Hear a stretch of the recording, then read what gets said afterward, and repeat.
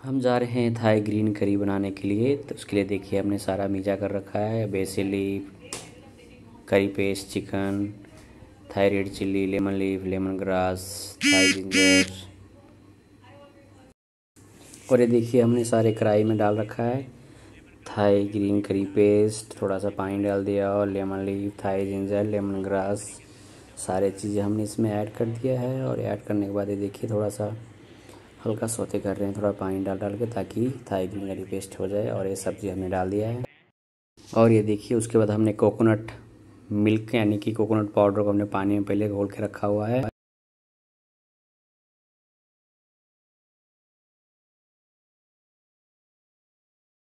जैसे कि देख रहे हैं फाइनल टच हमने थोड़ा गार्निश के लिए पोकचे भी इसमें ऐड कर दिया है। और ये करी उबल रहा है, बहुत बढ़िया। और पक चुका है ये, अब सर्विंग भी फाइनली हमारा ये बन के तैयार हो गया है और हमें बॉल रेडी करके बॉल में भी डाल दिया है। अगर आप लोग को अच्छा लगे तो लाइक और कमेंट और सब्सक्राइब ज़रूर कीजिएगा।